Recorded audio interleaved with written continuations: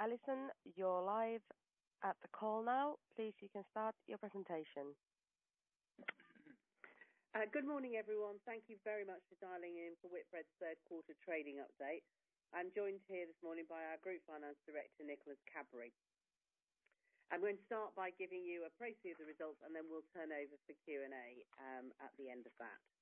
So starting uh, with the performance. We performed well in the third quarter. Total sales growth of 1%, which improved our year-to-date run rate.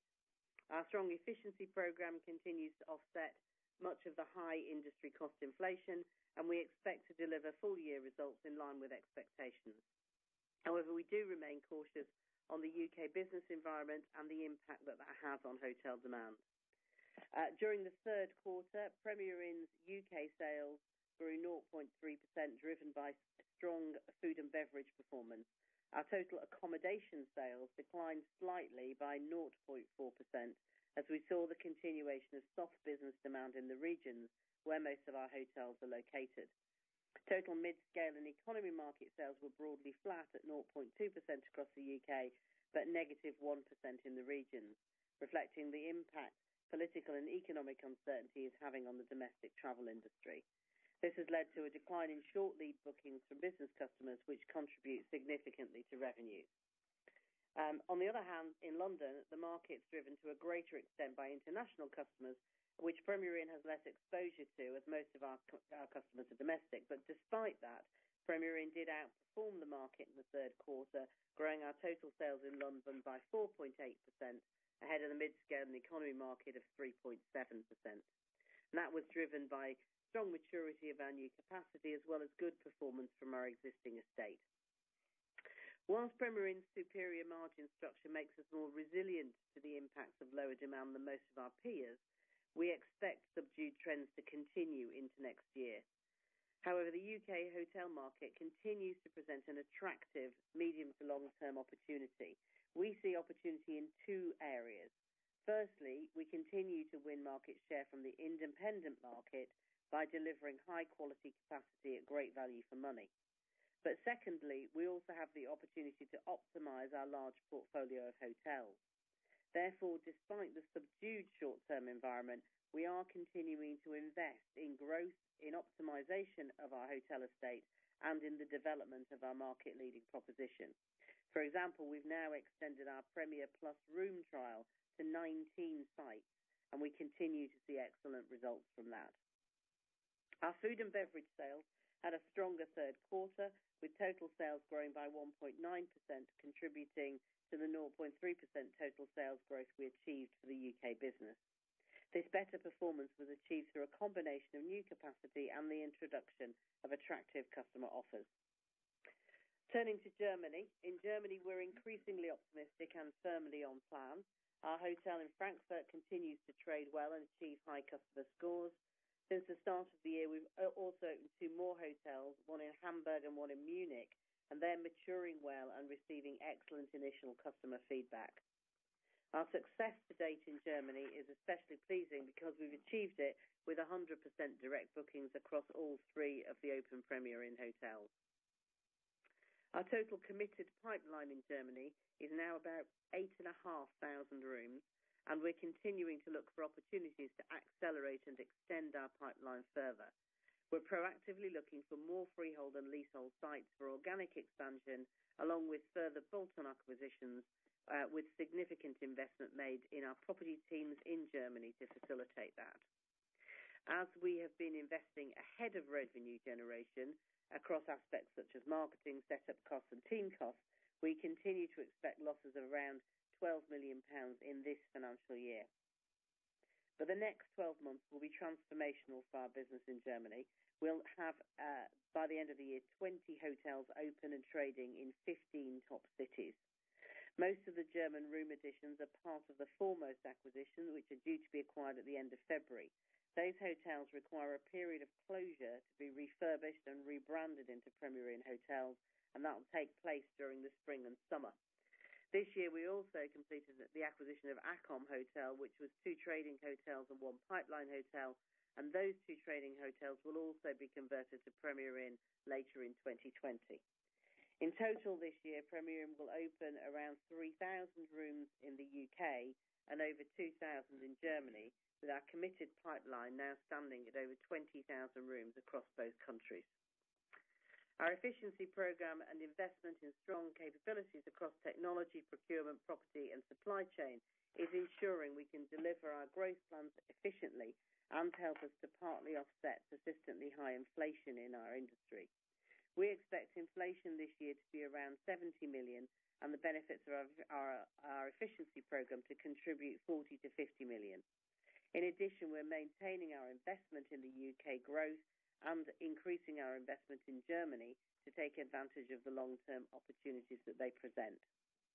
Although we do remain cautious on the macroeconomic environment and the continued high inflation in the U.K., we're still excited by the long-term structural growth opportunities, and we're confident in our ability to access those opportunities. Given that it's difficult to predict business confidence in the short term, we are um, using planning assumptions for the next financial year uh, that are cautious and prudent to take in, take into account that uncertain economic and political landscape. Um, And we, and, that could, of course, lead to potential sustained weak hotel demand. Um, To give you an idea of the sensitivity, every 1% movement in RevPAR impacts our profit by 12 to 15 million. We expect a net margin headwind of about 60 million next year, comprising about 75 million of inflation and stranded costs and about 25 million for investment in further improvements in our market-leading proposition. And that will be partially offset by efficiency savings of around 40 million. Growth capacity additions will be around 4,500 rooms across the U.K. and Germany. And Germany losses will improve but stand at around 10 million as we accelerate our pipeline and open the newly acquired hotels. Despite the continuation of short-term headwinds, our unique model and leading market position in the U.K. puts us in a strong position to continue to grow and to optimize in the U.K. and grow internationally. The opportunities for growth, along with our disciplined approach to capital allocation, means that we will continue to create long-term value for shareholders. Uh, thank you for listening. Uh, um, Nicholas and I will now be pleased to answer any questions, and I will hand back to Kaisa so that um, we can uh, we can get the questions moving. Thank you. Ladies and gentlemen, if you would like to ask a question, please press star followed by one on your telephone keypad now. We have a question from Vicki Stern from Barclays. Vicki, please go ahead. Good morning, Vicki. Morning. Um, just firstly, on the um, 25 million pounds being allocated to the ongoing cost items, could you just flesh that out a little bit on sort of what specifically um, that's going on? And I suppose, uh, as importantly, what kind of return you'd be expecting on that uh, in terms of RevPAR or anything else, and the phasing of it. In terms of the sort of cost savings piece, obviously you're allocating 40 million uh, for next year. How are you thinking about that? Would there be scope to do uh, any more than that? Um, and then just on the underperformance on RevPAR, on the gross RevPAR, that seemed to narrow a bit in Q3 uh, versus your like-for-like RevPAR. Just uh, what sort of drove that slightly better performance, and what are your expectations in terms of that RevPAR versus the market um, as we look out for the next few quarters? Thanks. Okay. Um, if we take, if I take the last one first, and then I'll let um, Nicholas uh, to deal with the cost question. Um, it's just a bit too early to tell in quarter four at this stage because, um, as you know, uh, although it seems like we're well into the quarter, actually the Christmas and New Year trading periods and the return to work periods get impacted a lot by the timings. You'll get some very very strong weeks and then some very weak weeks, depending on the timings in that period. So actually, it makes it quite hard to read. We did see an improvement, you're right, in in quarter three, um, and early in quarter four. Uh, We're not calling that a trend because it's just too early, and we're just keeping a uh, you know an eye hawk-like eye on what we see in terms of business confidence and, and business investment to see whether we can get more confident about the business side uh, of demand, particularly regionally recovering. Because if you see from the market stats, London has been pretty buoyant, and we've outperformed in London, uh, and regions have uh, had a more miserable and subdued time. Um, and our bigger estate in the regional area means that that business trade is particularly important to us. So we're not really calling where we think that's going to go, but we are watching things like the business confidence and business investment indicators, uh, which are quite correlated to how that short-term booking segment goes. Nicholas, do you want to- Just, sorry, coming in on that. It was more about the underperformance versus the market. So just in terms of your performance versus whatever the industry is looking like. Yeah on yield management, less extensions, that kind of thing. Yeah. Again, we've focused very hard on narrowing the gap. And in London, we've not just narrowed it, we've we've then uh, outperformed it. Um, In the regions, we've we've narrowed the gap. and uh, you know We we took actions last year across a range of activity on pricing and distribution. We've also started, as we say, investing in the product and investing in the Premier Plus rooms, and we would hope to see um, the results of that continue as we go through the year. The first question asked was about the kind of additional 25 million pounds worth of cost investment that we'll make this year. And it's really uh, really focused, as we say, on the kind of growth and kind of how we optimize and kind of really improving our product proposition and driving that top line, um, particularly in the business-to-business uh, sector. Actually, this year, if you look back, we've had a really we've actually we've actually performed really well in the consumer sector, and our weekends have been uh, busy. But you know that there's been headwinds in the business-to-business sector, and we want to make sure that if those headwinds continue, we're making the most of them as we possibly can. So that's where it's focused. I won't give you the granularity, but I'll give you some of the kind of uh, areas we will look to invest in. Firstly, um, as you know, we're um, trialing at 19 of our sites, the Premier Inn Plus rooms, which um, you know, early readings of those have been very encouraging, and we will continue to roll those out uh, through the through the year. So we'll have probably hopefully around about 2,000 of those rooms uh, next year. And around those, again, we will upgrade the rooms in those hotels at the same time as uh, well. Um, we'll also look to kind of, you know, really target how we're targeting our um, business-to-business customers. Um, you know, as you know, we've got very high percentage of our customers coming direct to us at kind of 97%, 98%. Actually, although you might think that that's full, we want to make sure that we're getting even more demand coming into our direct channels, uh, particularly in that kind of small, medium, and enterprise business-to-business uh, customer as well. So we'll be increasing the level of kind of marketing and advertising we're doing there. We're also looking at investing in our people as well. Um, you know, as we uh, see a tightening in the labor pool, looking at making sure that we are paying to make sure we retain the best people um, in the industry to continue to give really good service to our customers. So that's the kind of flavor of where we're putting the money. And the last question, sorry, with last question, the second question was on efficiencies, which we'll get 40 million. I know we've had a really good um, track record with this over the last uh, three years since we began this program.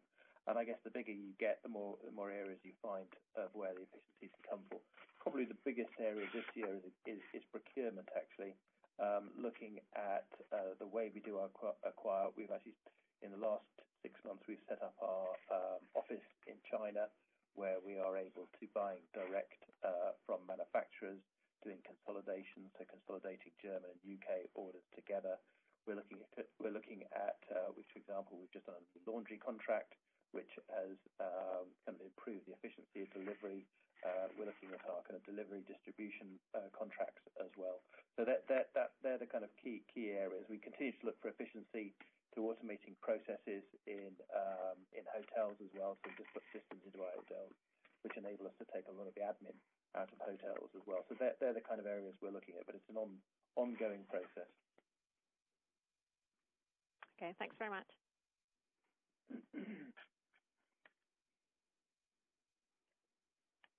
We have a question from Tim Barrett from Numis. Tim, please go ahead. Morning, Tim. Hi. Morning, everyone. Um, morning. Two things, if possible. Uh, one was just following up on that previous question about um, the fourth quarter, um, and your forward-looking comments. Is there anything you can say on how the consumer book is building? And I know you have uh, a weighting to last-minute bookings, but anything you can say on forward bookings? Um and then secondly, around the efficiency program, are you still framing that in terms of the 120 million three-year plan?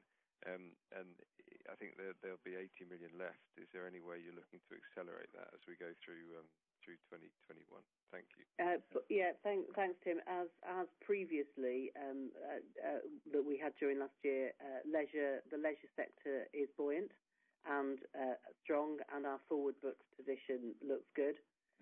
That that was true through last year, even through the uncertain periods and the and the political uh, upheaval we had last year, and it remains true now. So the, that base uh, leisure base is strong and the forward booking position is good. That doesn't, um, because of the short lead bookings, always translate into the final outcome in any given week of trading. But it is a good indicator that what, what we haven't seen is any dip in the in the core of the leisure customer. And in terms of your second bit about efficiencies, we just think, um, just in terms of can we accelerate, the 40 million is part of the 120 million. You're right on that. Um, we're always looking to find ways of accelerate. It is get harder. We've been doing this program for three years, so you've done some of the easy low-hanging fruits. You're into the more harder stuff now. I think the ability to accelerate is difficult. So I would uh, strongly advise you to use the numbers we've given you and rather be more ambitious on that. Okay. And just to actually to round off on costs, I think there's a small uplift from this year to next year, about 5 million. Is that simply the living wage being a bit more aggressive than you'd thought? You've got, just in terms of inflation in the business, you've got you've got yeah. living wage, which came out in December, which was which was higher than than than was anticipated. Actually, it's a number of issues as well. You've seen if you look in the in the food markets at the moment, you've got uh, kind of meat prices uh, despite it being Uh, uh, kind of vegan January. You've got meat prices. Yes, pork particularly. going up quite significantly uh, in the market as well, and you've also got utility prices continuing to go. We've probably got a little bit now we've now we've kind of getting we've almost completed the end of the the, the cost separation as well. We've got a much better understanding of what the stranded costs are as well, and that's where you see a little bit more stranded costs coming through than we probably anticipated. Great. Thanks very much.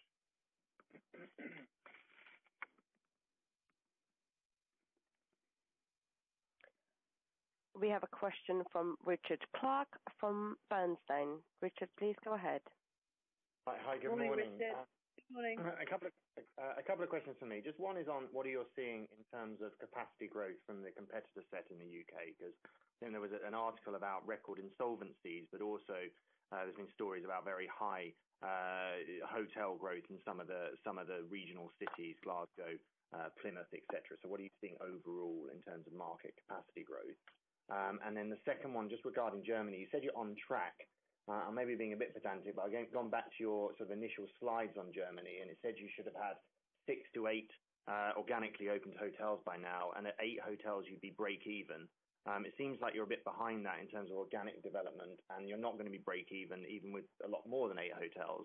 So what is the sort of pathway to break even, and how are you feeling about organic development in Germany to date? Yeah. the the the. I think the original proposal by the end of 2020, by the end of the financial year 2020, was six to eight hotels.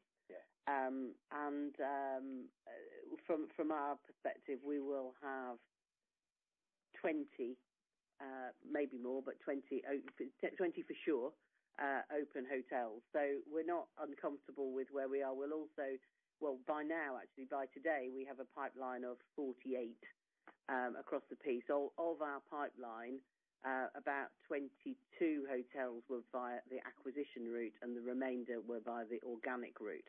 So actually, we're not uncomfortable with it. Um, I guess the only real difference from and we are going back four years, so these these differences sort of got ironed out over the last two or three years in presentations we've given. But originally, I think we would have anticipated the six or seven hotels open by this year to have been freehold. Mm. And part of that was a risk strategy to avoid um, you know, being in a position where if if we thought Germany didn't work, because we hadn't got a single hotel to base that on, that we would be able to exit, and freehold would allow us that exit. We agreed uh, two or three years ago that that strategy wouldn't work in Germany. But but the um, way that the property market in the large cities is working is that a long leasehold in a high-quality site in a large uh, German city was going to be as good as as um, freehold from a risk management perspective. And therefore, we have a higher level of leasehold in Germany because that's what's been available for us to get organically. So I think that's that's really the difference. So we're pretty pleased with um, the way that we've got both organic and um, and and inorganic. Uh, and we have quite a a um, large now property team, property development team in the regions in Germany, uh, working on the acquisition of new sites. Uh, by no means is it an easy setup in Germany because the German property market is extremely difficult. Um, The negative yields in Germany means that it is, it, you know, there is a lot of demand for German property and a lot of demand in residential as well as in hotel business. Hmm. So we do compete hard for the sites, and we do uh, maintain quite firm discipline on hurdle rates. And the and the difference for next year is really about the the acquisition uh, mm-hmm. versus our initial. We you know, we, we didn't anticipate four years doing an acquisition this year, this next year Um, that opens. And just in terms of when we've stood back and looked at Now, we've just got access to the properties, and actually what's changed from previous last year is actually uh, looking at what's the best way and the most cost-efficient way of refurbishing those hotels. And it's actually to do it by keeping them closed a bit longer and take a bit of a slower refurbishment, which is kind of a headwind for us. What you're seeing on capacity growth in the U.K.? On capacity growth in the U.K. Yeah. If you look at um, capacity actually kind of peaked in kind of 2000 with the competition in 2018 uh, was strong. As you know, capacity is often kind of anti-cyclical. In the good times, they put you put you put the spades in the ground, and then they open two years later when it's a bit more challenging.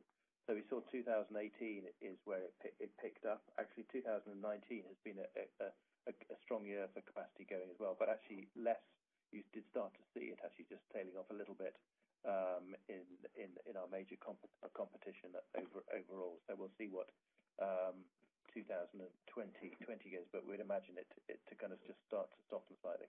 Mm-hmm. Uh, from a budget branded perspective, specifically budget branded perspective, the main increases have been Travelodge and Holiday Inn Express. But there's then been a smattering of a very large number of different new brands, largely in the larger metropolitan and urban areas rather than the smaller uh, rural or regional areas. Yeah. You continue to see quite a lot of five stars opening in London there as well. Mm-hmm. Thank you. Okay. Thanks.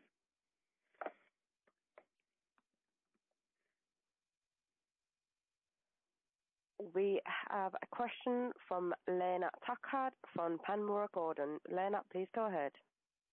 Hello, good morning. Uh, hi, good morning, everyone. Um, my first question, uh, Alison, you mentioned that um, Premier Inn has been outperforming in London. I'm just trying to figure out which metrics you're referring to um, when you say that. If you are looking at our trading statement, they're in the metrics that are at the back. But uh, we had total sales growth of 4.8% versus a market of 3.7%. Okay. But how about on the sort of like-for-like RevPAR and total RevPAR? It looks like you're underperforming the uh, STR data, which is RevPAR as well. So are you saying that it's the F&B part which is outperforming as uh, opposed to the actual RevPAR? The numbers Alison was quoting there were just accommodation. Just accommodation sales. The 4.8 and 3.7 are just.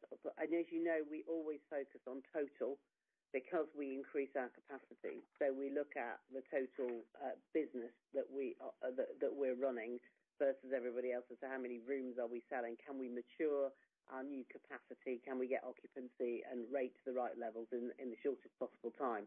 And the only way of viewing that is on a total accommodation uh, basis. So that's what we that's what we quote, and it's what we look at in the business. And if you look in London, if you look at the mid-scale economy RevPAR, it was up 2%. Actually, our like-for-like sales were up 2.6%. Yeah. There's another stat. They're all laid out at the mm-hmm. back of the uh, the appendix to the trading statement. Right. Okay. Sometimes people don't Sometimes people don't have all of the data on the total market, mid-scale market split, so we've mm-hmm. included those at the back. Okay, great. Thanks. Um, and then just in terms of the targets, um, this so this year's target of 2,500, I'm just trying. Uh, and that's in the U.K. Uh, net new rooms. I'm just trying to Um, work out where that started. Was that, I think earlier in the year, perhaps around Q1, you referred to 3,000-3,500. Was that, at that time, meant to be a gross number or a net number? We only ever have historically talked about gross numbers. Um, right. It's only since we um, started to talk to you this year about the fact that we were looking at perfect portfolios in catchment. We therefore are going to consider churning some of our smaller hotels, extending some of our larger ones, uh, moving some hotels, um, extending leases on others, and optimizing in a catchment that we've started to uh, uh, talk about a net, because historically we have not closed hotels. This year, we are closing nine hotels, five of which were franchises, and uh, and one of which, actually, we had a fire, and uh, and so we lost a hotel in a fire. Um, and we therefore and we have three sales of hotels, um, which is the start of the work that we're doing on the perfect portfolio in those locations. Uh, We we would plan that that optimization will take place over a number of years. Um, and so we will start talking about both net and gross to give you um, to give you both numbers. But historically, up till now, we've only ever given gross numbers. Okay, great. So the 3,000 target for next year in the U.K., I think that's a gross number according to the statement. That's a gross that's a gross number. Yeah. So so what would the net number be for next year that we should expect? We we uh we haven't we haven't said because because as you work through the year, we'll work it out. you'll assume probably the same level of closures as we had this year as we churn that bottom end of the sale. Yeah. That's something we'll continue to update you on as we go through the year. Okay. Uh and sorry, if I could just tag one last one onto that. How many years of sort of this sort of churn would you expect? Uh well, to get I mean, the perfect we've done the work to know what our perfect portfolio looks like. You just can't achieve it all in one go. You can't just sort of snap your fingers and do it. If you're looking at um, the example we've always used is Preston. I think we've had it in previous presentations. We'll try in the the, the year-end presentation, we'll try and not use Preston. We'll use somebody at some some another location to give you a, a, another example of it. But in there, you know, we know exactly where we would like to place the hotels. In order to close um, one of our hotels, we will need to extend another close by, because the key for us is to not lose Um, the total. It's not about total room stock, or it's certainly not about losing customers. So allowing customers to transfer their business and to close what typically are uh, older, in need of refurbishment, and very small hotels, which, given the inflation in the industry, become less economically viable as time goes by. Uh, you know, If you think about a 40-bedroom hotel versus a 100-bedroom hotel, they've got the same sort of management staff and the same minimum staffing levels, Um, but over a much uh, lower revenue. So uh, that that that perfect portfolio and optimization work, and therefore the churn and the growth and the extensions, um, and the and uh and the closures will all take place probably over a five to seven-year period. Right. Okay. We'll do we'll do some each year. Yeah. So we'll probably talk a little bit more about that at the at the year-end results. Great. Thank you very much.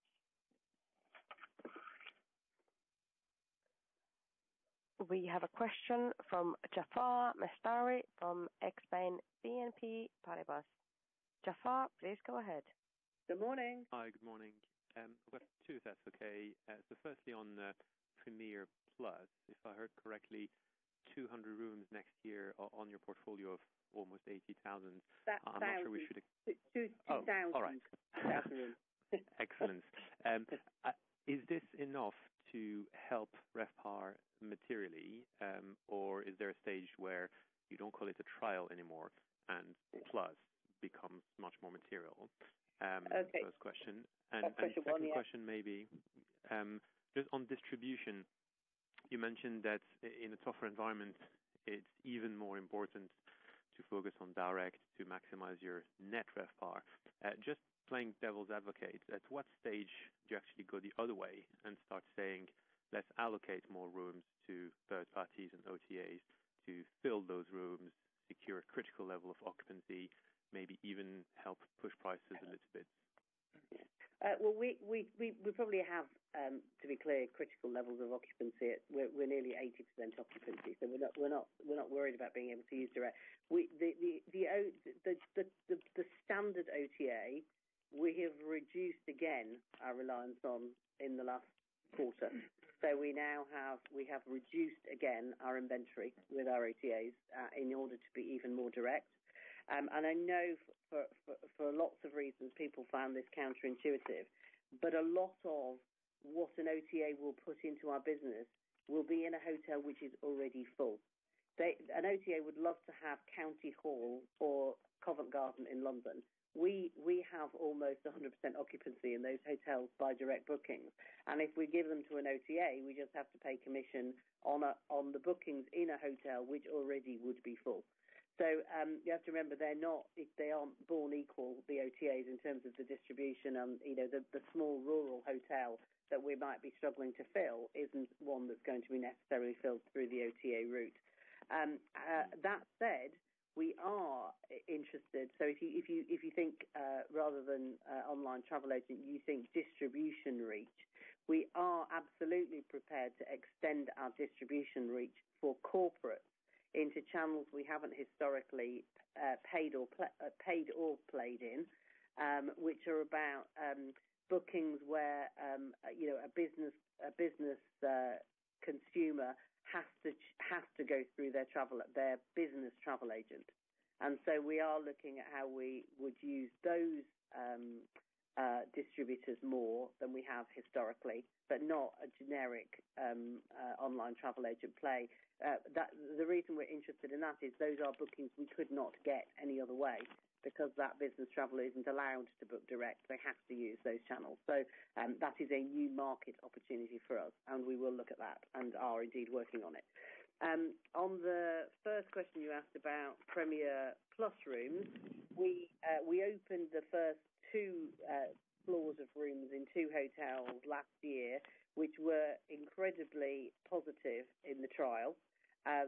Much so across every every day of the week, across all guests, across repeat bookings, not just um, uh, customer research, but also the actual buying behavior, um, and the sales uplift and returns profile which we got, that we rolled that out to another 500 rooms. So almost 500 rooms we now have in what we call the trial. Um, though for some of those hotels, it's very early days because they've only been opened a few weeks. For others, they've been open uh, more like a couple of months. Um, and certainly by the year end, we will have hit the 500 mark on those. Um, what I can say is that the results, uh, and they are across a much more, uh, much wider group of sites, both size and type of site, and also location, not just metropolitan, but much more uh, secondary locations as well. And what I can say is, is at present, the um, the results of that trial are very very positive. Um, that is giving us the confidence to turn um, the plan into 2,000 rooms for next year. Um, and uh, you know, with 80,000 rooms in the estate, you are right, there is a significant runway of opportunity if um, those rooms continue to perform. To give you a sense of that, they generally have a sales uplift of 10 to 20 pounds. Uh, our originals were 20 pounds because that was in London. Um, in our secondary locations, they may be somewhere between 10 and 20. And they have uh, We put them on separate floors, but it is um, an upgrade in the room, so it's not um, upgrading the rest of the hotel necessarily. Um, It's equally appealing to business and leisure guests, uh, slightly counterintuitively, but it is. And the return rates of guests as well as their guest experience scores are very high. Um and they're generally the rooms that are getting booked first, so the run rate of sales early on is very strong, which gives us a lot of confidence people are choosing the upgrade. So overall, we're pleased with the um, sites we've gone for so far, and that means we will start rolling out, and the first 2,000 rooms will be next year. Well, we will be at 2,000. It's an extra 1,500 next year. We'll be at 2,000 by the end of the year. All right. Okay. Thank you very much. Hopefully uh, that will help you think about that. Makes sense. Thank you.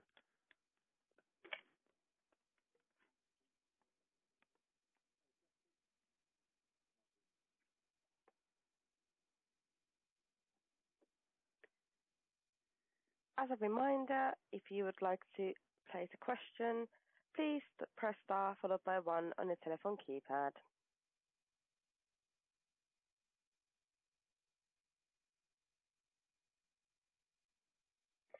We have a question.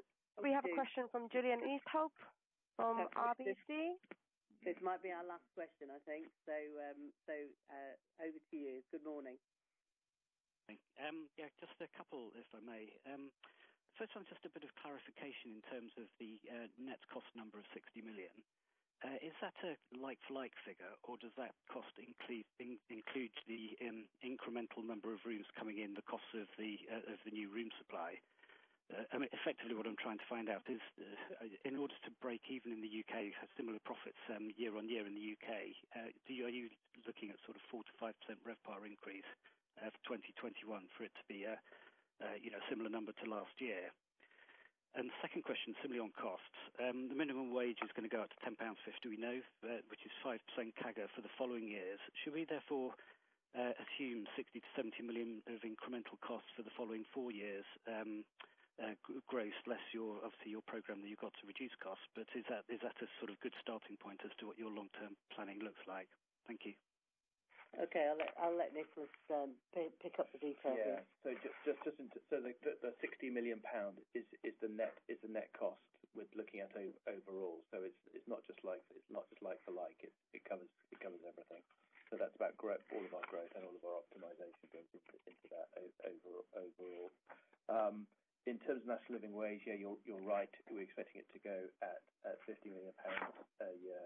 I think um, it's quite unusual to give guidance in 2021 in Q3, actually. So giving guidance for the year after, I'm quite hesitant to do, particularly as things like the National Living Wage came out in December at a different rate to what we were expecting it to do. I mean, I think directionally what we expect now, looking forwards, and we'll continue to update you, is we've set the cost efficiency program at 120 million pounds for over the three years. So you'd expect a similar sort of level for the year after. In terms of the inflation figure, the inflation figure of 75 million is high at the moment. One, because of um, you've got the uh, kind of increase in stranded costs. Those stranded costs stay in, but you wouldn't expect them to step up. Um, but you're also right now seeing quite high food inflation and utility inflation. I'd expect utility inflation to go go mm-hmm. forward. I don't know about um, food inflation that far out. But you'd You would hope that the 75 million inflation does moderate somewhat going forward. We'll have to keep you updated on that. Okay. Thank you very much. Thank you. Thank you everybody for dialing in this morning. Um, uh, we'll pick up any other issues outside of the call. Thank you very much. Have a good day.